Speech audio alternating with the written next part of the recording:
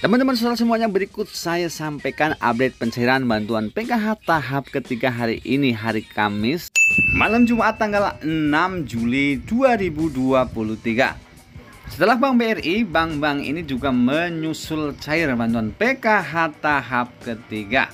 Dan ada instruksi penting dari Kementerian Sosial, KPM harus lakukan ini supaya bantuannya utuh dan tidak berkurang serta informasi penting bagi KPM pemilik komponen anak sekolah di bulan Juli 2023. Bagaimana informasi lengkapnya? Ikuti videonya sampai dengan selesai supaya kalian tidak gagal paham dalam menyerap informasinya.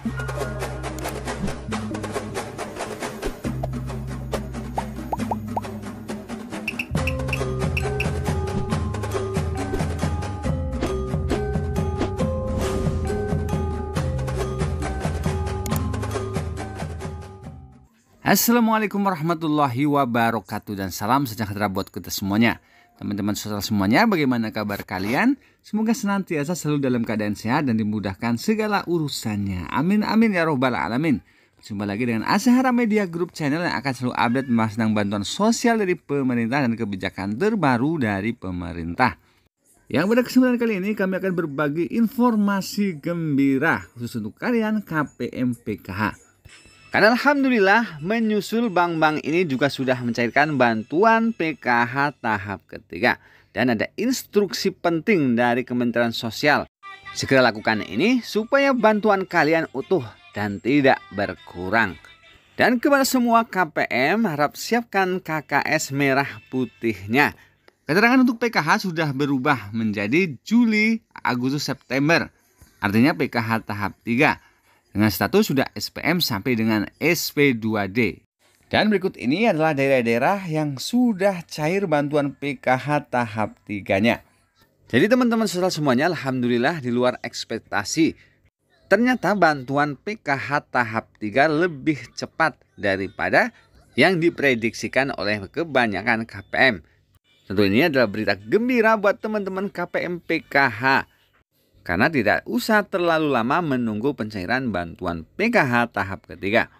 Dan teman-teman saudara semuanya sebelum kita lihat hasil cek saldo pencairan bantuan PKH tahap 3 hari ini.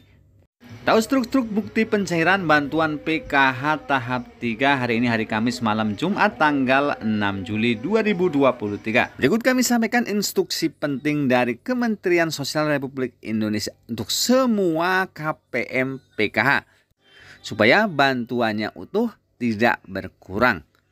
Jadi teman-teman saudara semuanya pemerintah melalui Kementerian Sosial menghimbau kepada semua KPM atau keluarga penerima manfaat PKH supaya bisa menerima bantuan PKH utuh tidak berkurang dan bisa dibelanjakan sesuai dengan kebutuhan pokok daripada si KPM tersebut.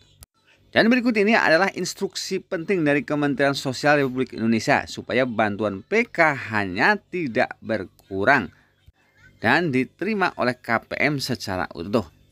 Yang pertama hendaknya KKS merah putih dipegang oleh si KPM tersebut. Dilarang KKS merah putih dipegang oleh orang lain, termasuk ketua kelompok, pendamping PKH, RT maupun pihak kelurahan. Hal ini kata Kementerian Sosial untuk mencegah terjadinya potongan-potongan serta pungutan liar. Selanjutnya yang kedua, hendaknya KPM mengambil bantuan PKH-nya sendiri. Jangan menitipkan kepada orang lain. Hal ini juga untuk mengurangi resiko terjadinya potongan serta penggelapan dana bantuan PKH. Kemudian yang ketiga, hendaknya KKS merah putih disimpan sendiri dengan aman dan jangan beritahukan untuk nomor PIN-nya kepada orang lain supaya menghindari terjadinya pencurian saldo bantuan PKH. Jadi teman-teman soal semuanya itulah tadi instruksi untuk semua KPM supaya bantuannya utuh tidak berkurang. Dan langsung saja teman-teman soal semuanya berikut kami sampaikan update informasi daerah-daerah dan bank-bank yang sudah cair bantuan PKH tahap 3-nya hari ini.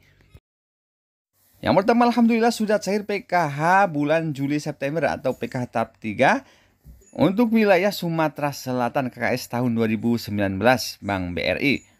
Ini baru cek, ternyata memang benar PKH sudah cair. Daerah Palembang komponen anak SD banknya Bank BRI.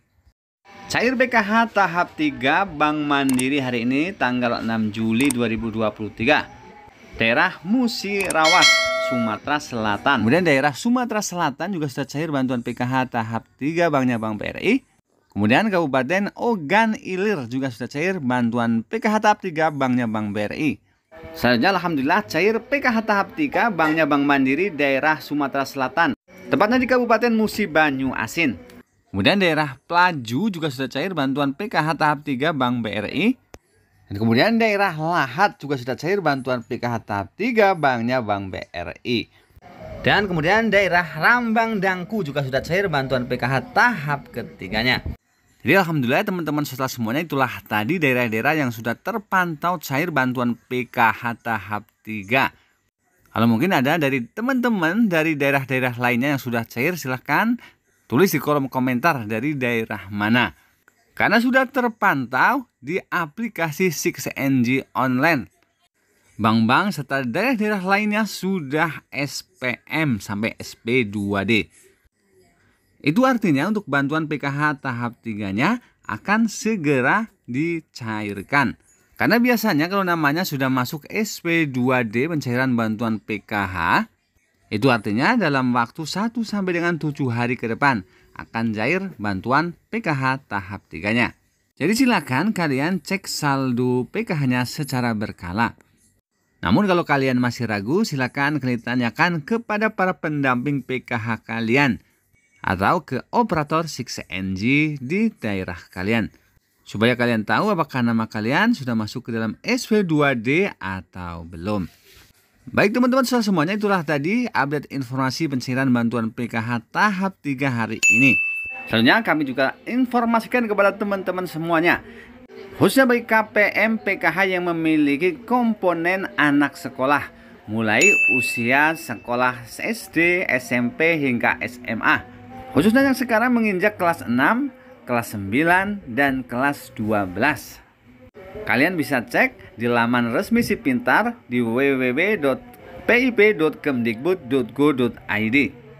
Dan bila nama anak kalian masuk ke dalam nominasi penerima bantuan tambahan yaitu program Indonesia Pintar tahap kedua tahun 2023 Dihimbau untuk segera melakukan aktivasi rekening sebelum tanggal 31 Juli 2023 supaya bantuan pendidikan antara 450 sampai 1 juta rupiah bisa dicairkan. Baik teman-teman sudah semuanya itulah tadi update informasi pencairan bantuan PKH tahap 3 hari ini. Dan untuk update selanjutnya tentu akan kami segera informasikan kepada teman-teman semuanya. Semoga informasi tadi bermanfaat. Akhir kata, wassalamualaikum warahmatullahi wabarakatuh.